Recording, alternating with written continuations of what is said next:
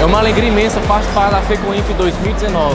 E claro, mais uma vez, a Meire Paisagismo ornamentou, revitalizou e ambientou todos esses espaços.